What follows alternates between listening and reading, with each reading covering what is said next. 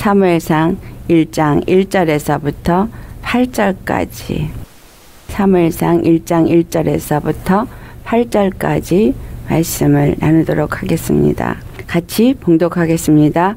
에브라임 산지 라마다임 소빔에 에브라임 사람 엘가나라 하는 사람이 있었으니 그는 여로함의 아들이요 엘리우의 손자요 도우의 증손이요 수베 현손이더라. 그에게 두 아내가 있었으니 한 사람의 이름은 한나요 한 사람의 이름은 분인나라. 분인나에게는 자식이 있고 한나에게는 자식이 없었더라.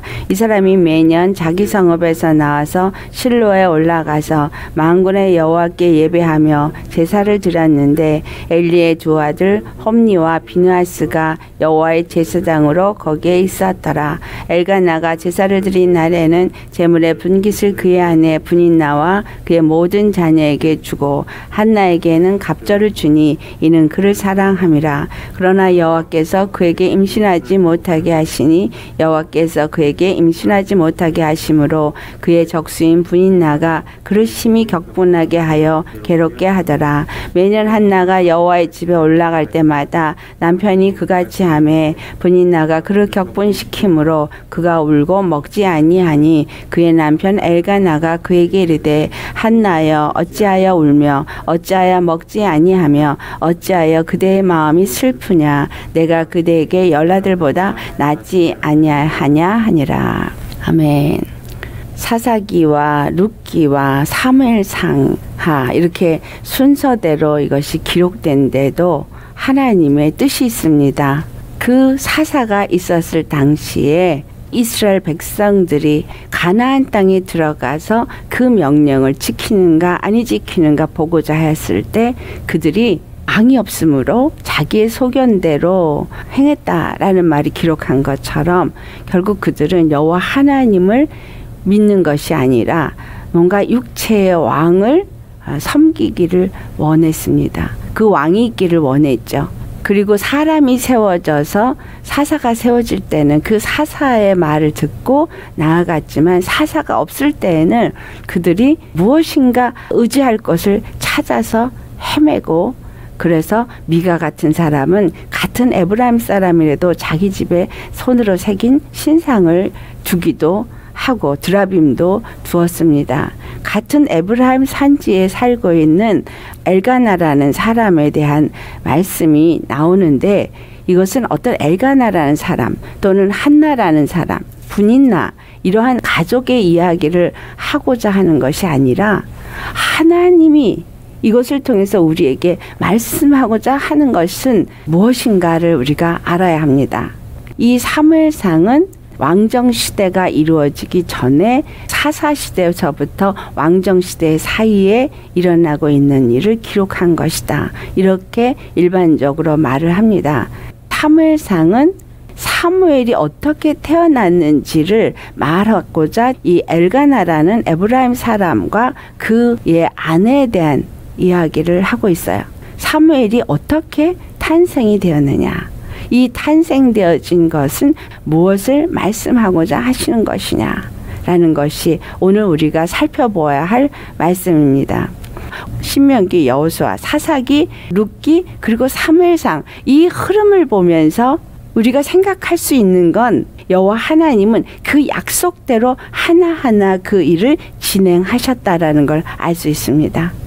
룻기를 보면 사사 시대에 룻이라는 그 모함 여인을 통해서 기업을 이을자 보아스와 함께 그 나오미의 모든 것을 잃어버린 것을 다시 회복시키는 말씀을 한 후에 이 사무엘 상이 기록되어져 있습니다. 곧 다시 말하면 사사 시대에 사람들이 사사가 없고 나니 자기의 소견의 임의대로 행하다가 그 사사 시대에 땅을 팔고 기근이 오니까 이리저리 방황하는 그 모습을 룻기를 통해서 기록하게 하시고 그리고 그들의 모든 빼앗겼고 잃어버렸던 것을 다시 회복하시는 이야기를 기록하면서 여호와 하나님은 모든 것을 회복하시는 하나님이시다라는 것을 가르쳐 주고 있습니다. 그러면서 보아스까지 7대에 이르러서 보아스가 태어났으면 보아스로부터 4대가 될 때 다윗 왕이 태어나서 유다 지파 중에서 하나님이 이 왕권을 세우게 되는 것을 루키에 기록을 하고 있습니다. 그 왕권을 세우기 위해서 이제 누가 필요했냐면 다윗 왕을 세우는 사무엘이 필요했다라는 거예요. 그로 인해서 사무엘 상은 다윗을 왕으로 세우는 사무엘이 태어난 것과 그의 배경을 우리에게 말하면서 하나님은 약속하신 하나님 그것을 변개치 아니하시고 약속대로 모든 일을 행하시는 바로 이스라엘의 하나님이 되심을 우리에게 가르쳐 주고자 하심입니다. 그 일을 행하실 때에 반드시 믿음의 사람을 통해서 그 뜻을 행하신다라는 것을 알아야 합니다.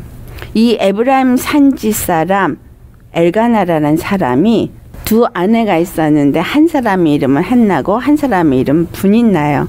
분인나는 자식이 있지만 한나는 자식이 없었어요. 이 사람은 매년 실로에 올라가서 여호와 하나님 앞에 제사를 드린다고 기록되어져 있습니다. 실로는 가나안 땅에 들어가서 처음으로 이스라엘 자손 회중이 회막을 세운 곳이 실로입니다. 여수와서 18장 1절에 나와 있는 말씀이죠. 회막을 세운 그곳, 그곳에 이제 이 엘가나는 제사를 드리기 위해서 올라가는데 그 이유는 여호와께서 무교절 77절 초막절은 무조건 하나님 여호와께서 택하신 곳에 나아가서 여호와 하나님 앞에 제사를 드리라고 명령했기 때문에 그래서 1년에 세 번 무교절 77절 초막절에는 제사를 드리는데 이 엘가나라는 사람을 보니까 그가 매년 여호와께서 예배하여 제사를 드리라고 한 날에 그가 실로에 올라가고 있는 자임을 알 수 있습니다. 그런데 그가 예배 드리는 것과 또 분인 나는 애가 있고 한 나는 아기가 없는 것 이것은 우리에게 무엇을 말씀하고자 하시는 거냐라는 거죠. 또한 이 엘가나라는 사람은 에브라임 산지 사람이다라는 것을 살펴보면서 우리가 알아야 하는 게 여호와 하나님께서 이스라엘에게 하신 말씀 찾아서 보시겠어요. 예레미야서 7장 22절에서 23절 말씀. 예레미야서 7장 22절에서 23절 말씀. 우리 한 목소리로 봉독하시겠습니다. 사실은 내가 너희 조상들을 애굽 땅에서 인도하여 낸 날에 번제나 희생에 대하여 말하지 아니하며 명령하지 아니하고 오직 내가 이것을 그들에게 명령하여 이르기를 너희는 내 목소리를 들으라. 그리하면 나는 너희 하나님이 되겠고 너희는 내 백성이 되리라. 너희는 내가 명령한 모든 길로 걸어가라. 그리하면 복을 받으리라 하였으나 주님이 지금 레미야 선지자를 통해서 하신 말씀을 보니까 그 조상들을 애굽 땅에서 인도하여 낼 때 번제나 희생 제물에 대해서는 말하지 아니하고 명령하지 아니했다. 즉 그들이 가나안 땅에 들어가기 전까지 그들을 인도해 낼 때 여호와는 어떤 번제나 희생 제물에 대해서 말하지 아니했습니다. 그런데 신의 산에서 이스라엘의 거룩한 성회로 그들을 모으시고 나서 율법을 주셨어요. 그 이전에는 율법이 없었고 율법이 없는 상태에서 그들을 애굽에서 건져내시고 그 다음에 율법을 주십니다. 율법을 주신 것은 여호와의 목소리를 듣고 그 명령을 지키는가 아니 지키는가 주께서 그것을 알고자 하심이라는 거예요. 그런데 이스라엘이 어땠어요? 그 목소리를 들었어요? 안 들었어요? 듣지 아니했어요.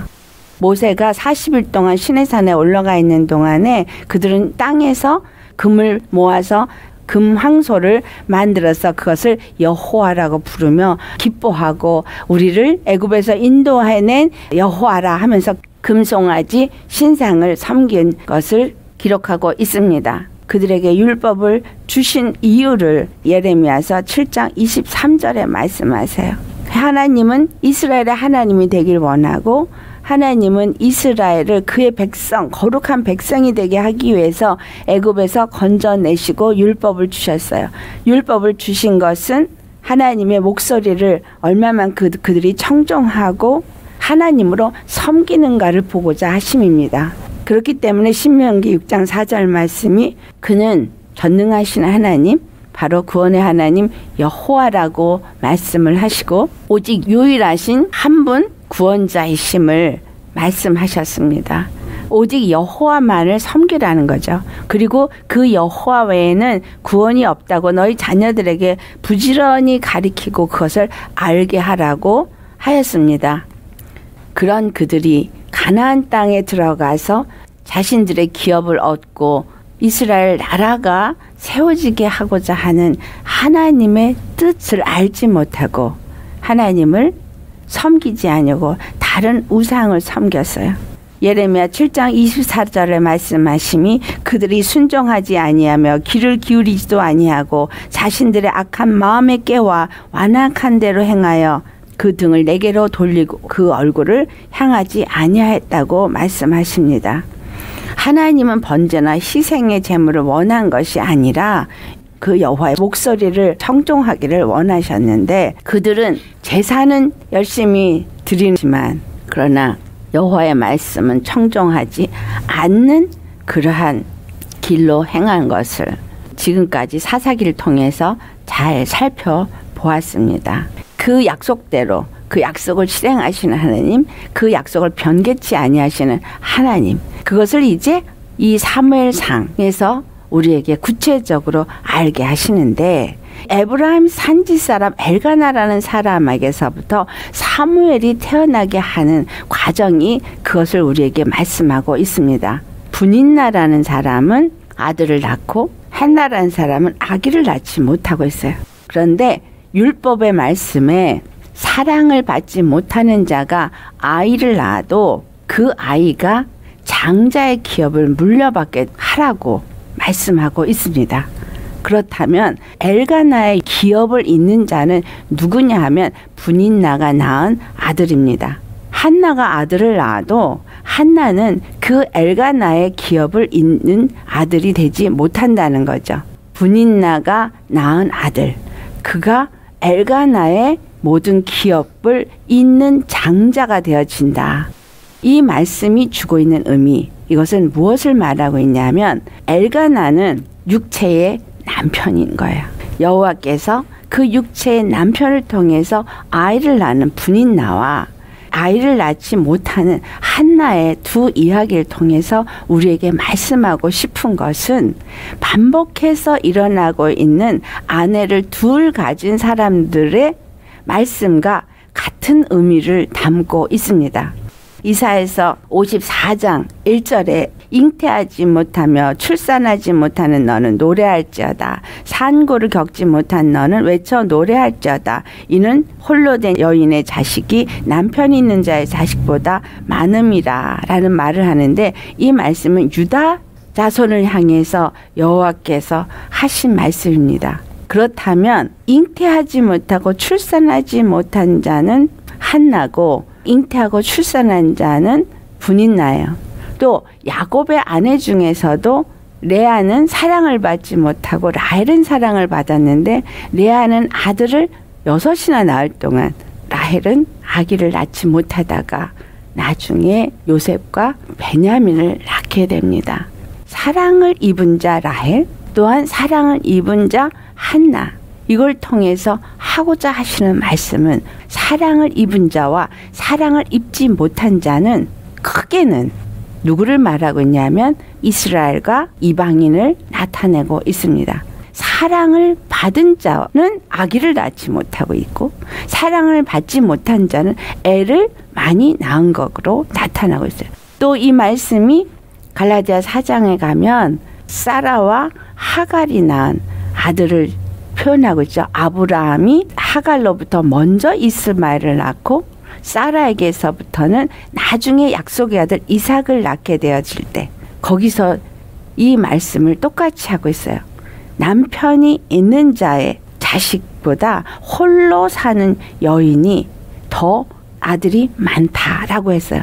무엇을 말씀하고자 하냐면 그러니까 영적으로 홀로 사는 여자는 아직 남편의 관계가 이루어지지 아니한 여인을 말하는데 그 말씀이 이스마엘을 낳은 하갈과 약속의 아들로 온 이삭을 볼 때는 시나이 산에서 낳은 아들로 이스마엘을 표현하고 있고 이것은 율법을 표현하고 있고 또 예루살렘으로 낳은 아들 사라가 낳은 아들 이삭은 예수 그리스도를 표현하고 있습니다. 그래서 육체의 아들과 약속의 아들로 나타나 있고 육체의 아들이 약속의 아들을 괴롭힌다라고 말하고 육체의 아들은 약속의 아들과 함께 기업을 얻을 수 없다라고 하고 있어요. 여기서 분인 나가 낳은 아들은 엘가나의 유업을 잇는 아들을 낳는 자요. 한나는 엘가나의 아들을 낳았어도 엘가나의 유업을 잇는 아들을 낳은 것이 아님을 말해주고 있는 이것은 아주 중요한 의미를 담고 있다라는 겁니다. 이사에서 54장 5절 말씀. 유다 지파에게 잉태치 못하고 출산하지 못한 너는 노래할지어다 해놓고 5절에 말씀하시기를 이는 너를 지으신 이가 내 남편이시라. 그렇게 말씀하세요. 그의 이름은 만군의 여호와이시며 내 구속자는 이스라엘의 거룩하신 이시라. 만군의 여호와 하나님이 진정한 남편이라는 거예요. 그 이야기를 하고 있는 건 무엇을 말하고 있냐? 분인 나가 엘가나의 아들을 낳아도 그 아들은 엘가나의 유업을 잇는 장자 역할은 하지만 그것은 육체의 아들로서 육체의 기업을 얻는 자일 뿐이다라는 걸 말씀하고 있는 거예요. 그러나 아이를 낳지 못한 자여 너희는 기뻐하라 한 것처럼 한나가 그 엘가나의 아들을 낳지 못하고 이제 그가 고통 가운데 여호와 하나님 앞에 부르짖고 그가 아들을 낳기를 원했지만 하나님은 한나에게 아들을 낳게 하지 않은 것을 말하고 있어요. 왜? 여호와께서 한나에게 임신하지 못하게 하셨다라고 말하고 있거든요. 여호와께서 왜 임신하지 못하게 하였느냐라는 거죠. 곧 그것은 한나를 통해서 태어날 아이는 엘가나의 힘이나 능력으로 나아서 엘가나의 유업을 잇는 아들이 아니기 때문이에요. 주님이 한나에게 아들을 낳게 해서 하고자 하시는 일은 이스라엘의 하나님, 약속을 성취하신 그 하나님이 그 약속을 육체를 따라서 낳은 자를 통해서 이루기를 원치 아니하시고 하나님의 계획 가운데 믿음을 통해서 하나님이 주시는 자를 통해서 그 일을 이루고자 하심이라는 겁니다. 잉태치 못하고 출산하지 못한 자는 노래하라 라고 말한 거예요. 육체의 남편으로 낳은 아들은 육체의 기업을 잇는 것 같고 무엇인가 굉장한 축복을 받은 것 같지만 그는 실상 하나님의 영원한 기업을 잇는 것은 이루어지지 않고 있습니다. 다만 그 육체의 아들을 통해서 육체의 남편의 기업을 잇게 하시는 것은 장자를 통해서 그 기업이 있게 되어지는 것을 말하는 것입니다. 그렇다면 한나에게 아들을 낳지 못하게 한 이유는 하나님이 정하신 아들이 하나님의 기업을 잇게 된다는 것을 알게 하고자 함입니다. 여호와 하나님이 정하신 우리 주 예수 그리스도는 유다 지파 중에 오실 것을 말씀하고 있는 것이다라는 거예요. 에브라임 산지 사람 엘가나를 통해서 그에게 한나라는 여자를 주고 그 한나가 믿음의 기도를 드림으로써 그가 사무엘이라는 아들을 낳지만 그 아들은 엘가나의 장자도 아니요 엘가나의 기업을 잇는 자도 아니고 그는 여호와 앞에 나시린으로서 드려지는 자가 됩니다. 그런데 이 사무엘이 행한 일은 다이당을 세우는 사람의 역할을 하는 것이다라는 거예요. 에브라임 사람 중에서 태어난 사무엘 그는 다이드를 왕으로 세우는 일을 하는 사람일 뿐이다라는 거예요. 하나님이 그 왕을 세우는 일을 하는 사무엘조차도 하나님이 세우고자 하시는 그 사람을 통해서 낳게 하시고 그를 통해서 그 일을 행하게 하시는 것.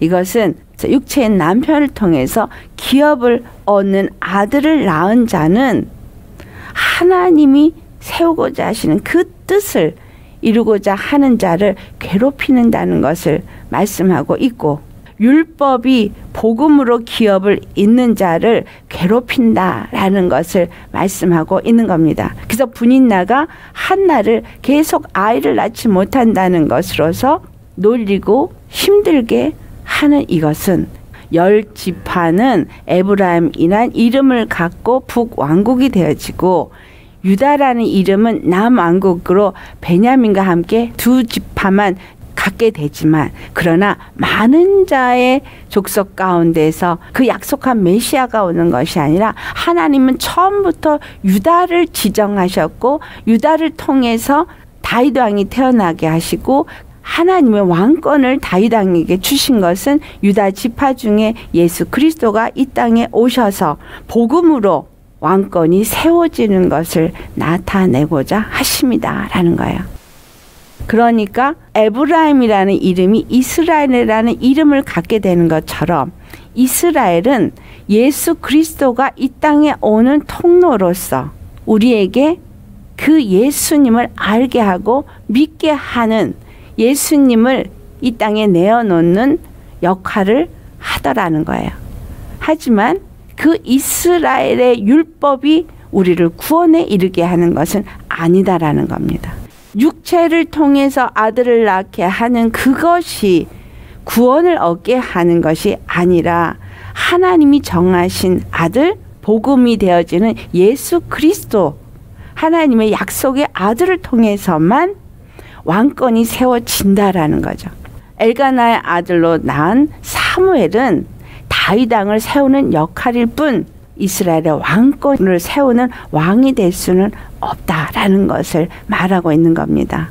분인나가 낳은 아들과 한나가 낳은 아들이 우리에게 가르쳐 주고 있는 것은 육체의 아들은 육체의 기업을 잇는 것일 뿐이고 하나님이 믿음을 통해서 이 땅에 오게 하시는 사람 그 믿음이 예수 그리스도를 왕으로 세운다라는 것을 말씀하고 있는 겁니다.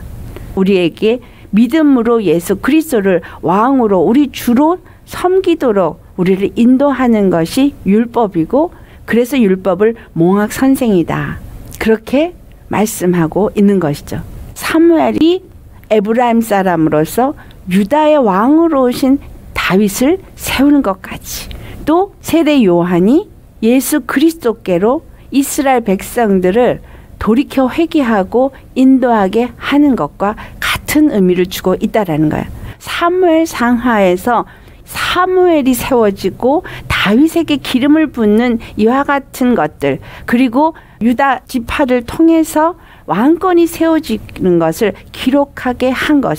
이것이 왕정 시대의 시작 이전에 이루어진 것을 기록한 것이 바로 이와 같은 하나님의 계획을 이루고자 하신 것을 기록한 것이다. 라는 거죠.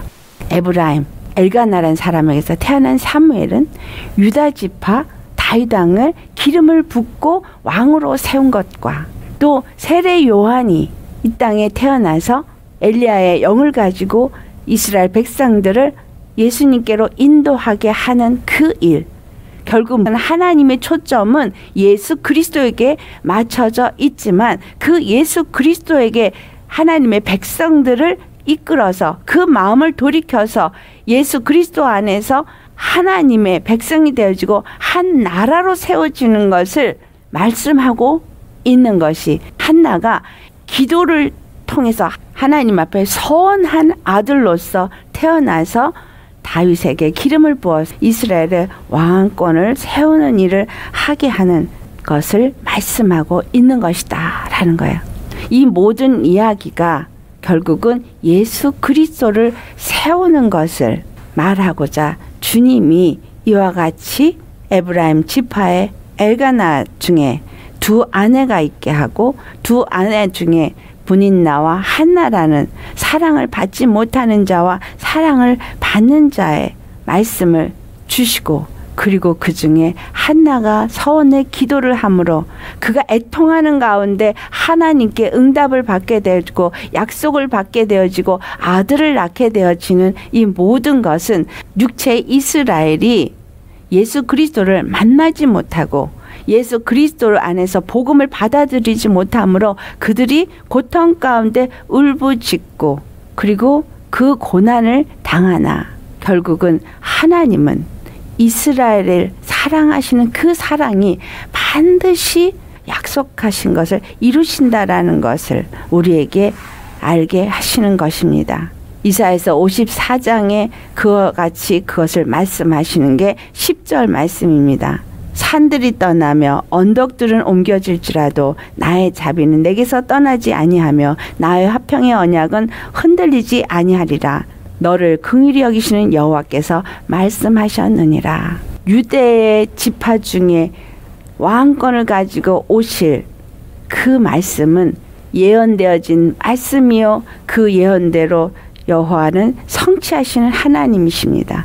그 일을 이루기 위해서 이스라엘을 애굽에서 건져내시고 가나안에 들어가게 하시고 그것에 이스라엘은 나라를 세우게 하였는데 그들이 여호와의 말씀을 청종하기를 원하고 그래서 율법을 주었으나 그들은 율법을 지키려고는 하였으나 하나님의 말씀은 청종하지 아니하고 등을 돌렸으나 주님 신실하신 하나님은 산들이 떠나고 언덕들이 옮겨지는 이와 같은 심판의 날이 온다 할지라도 그의 자비는 결단코 약속대로 이스라엘을 세우시는 하나님이시고 유다를 세우시는 하나님이 되심을 이사에서 54장에 말씀하고 있습니다. 이것은 유다를 통해서 다윗 왕의 그 왕권을 끝까지 이어내려가게 하겠다는 그 약속은 우리 주 예수 그리스도를 통해서 왕권이 온전히 세워진다는 것. 화평의 언약이 흔들리지 않냐고 반드시 이룬다는 것을 말씀하신 것입니다. 8절에 그의 남편 엘가나가 한나에게 어찌하여 울며 어찌하여 먹지 아니하며 어찌하여 그대의 마음이 슬프냐 내가 그대에게 열아들보다 낫지 아니하냐 사랑을 받는 한나 남편의 사랑을 그와 같이 받으나 그가 아들을 낳지 못하는 잉태치 못하는 고통이 그에게 있는 것처럼 이스라엘이 이와 같이 여호와 하나님의 사랑을 받으나 그들이 잉태치 못하는 그 고통의 시간이 그에게 주어진다라는 거예요. 하지만 반드시 그 사랑하는 남편의 아이를 낳게 되는 것처럼 그리스도의 교회는 반드시 하나님이 약속하신 대로 그 아들을 낳게 되어져 있습니다. 그런데 그 아들이 어떤 아들이 되어지냐? 예수 그리스도께서 이 땅에 오셔서 이스라엘에게 오셨지만 이스라엘은 그 예수님을 환영하지 아니하고 그를 핍박한 것과 같이 이것이 이방인에게 복음이 전해지게 되고 그리고 이방인이 예수님을 믿고 먼저 아들을 낳게 되어집니다. 이와 같이 이스라엘에게 이 아들을 낳게 하기 전에 반드시 핍박이라는 것이 그들에게 이루어지게 되어지고 그리고 이 핍박과 환란과 고통이 있지만 화평의 언약을 맺으신 하나님은 반드시 이스라엘 나라를 세우시는 역사를 이루신다라는 것. 약속하신 하나님은 반드시 그 약속을 이루신다라는 것. 예수 그리스도를 약속하셨고 그 예수 그리스도를 통해서 구원의 역사를 이루시고 이스라엘 나라를 세우시는 일을 하신다는 것을 시작하는 것이 바로 이 사무엘 상입니다. 사무엘상 하를 살펴보면서 그 약속하신 하나님이 어떻게 그 약속을 이루시는가 그리고 우리는 그 약속이 이루어지는 그 날을 기다리며 어떤 믿음의 삶을 살아야 할 것인가를 깨달아 아셔야 합니다. 그 모든 일을 이끌어 가신 하나님 앞에 우리가 해야 할 것은 따라가는 걸 뿐이에요. 그분이 인도하시는 대로 믿음을 잃지 아니하고 그냥 따라가시고 그분이 내게 허락한 모든 길에서 나는 순종하며 그 말씀을 청정하고 나아가는 것 그것밖에 우리가 할 것이 없다라는 겁니다. 말씀과 기도로 너희가 거룩해진다라고 말씀하는 것이죠. 다른 것을 우리가 할 것은 아무것도 없어요. 오직 말씀과 기도로 주님이 우리에게 무엇을 말씀하시는지, 주님이 우리에게 원하시는 바가 무엇인지를 깨달아 알고 그가 이끄시는 대로 우리는 순종하며 따라갈 때에 주님은 계획하신 대로 이루시고 성취하시는 하나님이시기 때문에 그 일을 이루실 것이다.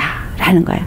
그리고 그 약속은 반드시 이루어집니다. 우리가 다시 오실 예수님을 기다리고 있는 자들. 그 다시 오실 예수님이 반드시 오실 것을 알게 하는 것이 바로 그 약속대로 한나를 통해서 사무엘이 태어나게 되어지는 말씀. 사랑을 입은 자가 그 사랑의 약속대로 아들을 낳게 되어지고 이스라엘을 통해서 율법을 알게 하고 예수 그리스도의 십자가로 우리를 인도하고 있다라는 것을 깨달아 아시기를 예수 이름으로 축원합니다. 기도하시겠습니다. 할렐루야 거룩하신 아버지 참으로 어떤 지파에서 어떤 사람이 아내를 몇을 갖고 그 아내가 어떻게 아들을 낳는 그 하나의 가정사를 쓴 것 같으나 이것이 하나님이 세우고자 하시는 하나님의 뜻, 하나님이 세우고자 하시는 하나님의 나라, 이 비밀을 담고 있음을 우리가 또 사무엘상을 통해서 하나씩 알아가게 하시옵소서. 오늘 이 엘가나에게 그 사랑받는 한나 또 사랑받지 못하는 아내 분인나가 있음을 통해서 아무리 아들을 낳아도 그 아들이 육체의 아들일 뿐이고 하늘나라의 기업을 얻지 못하는 것을 기억하게 하여 주시옵소서. 그래서 우리가 아무리 육체의 예법인 율법을 잘 지켜도 그것으로는 우리가 하늘나라의 기업을 얻을 수 없음을 고백합니다. 오직 예수님께서 약속하시고 그 약속대로 오실 유다 지파 중에 오신 우리 주 예수 그리스도 그 예수 그리스도를 조명하기 위해서 이 땅에 온 세례 요한 이것이 또한 이 사무엘과 다윗 왕의 관계 속에서 우리에게 비춰 주시는 것을 알아가게 하옵시고 오직 복음으로 주님의 말씀을 청종하고 우리 주 예수님만을 주로 섬기며 주의 말씀을 따라 우리가 살 때에 그 영원한 기업을 얻는 아들이 되어질 수 있음을 더욱더 알게 하시고 믿음에 굳건하게 서게 하여 주시옵소서. 하나하나 말씀을 열어서 우리에게 더욱더 알게 하시고 그래서 우리 주 예수 그리스도의 은혜와 역사하심이 무엇인지를 알고 우리에게 주시는 그 영광의 기업의 풍성한 것이 무엇인지를 알아서 소망이 더 커지게 하시고 그 사랑을 깊이를 더 알아갈 수 있는 우리가 되게 하여 주시옵소서. 말씀을 열어주시고 깨닫게 하시는 주님 오직 주님의 말씀을 따라서 순종하며 나아가고 주님의 이끌림을 받아서 주님과 함께 그 길을 나아갈 때 순종의 사람으로서 겸손의 사람으로서 끝까지 주님의 심판대 앞에 앉는 그날까지 주님 따라 순종하며 나아갈 수 있게 하여 주옵소서. 감사하며 우리 주 예수님 이름 받들어 기도드리옵나이다. 아멘.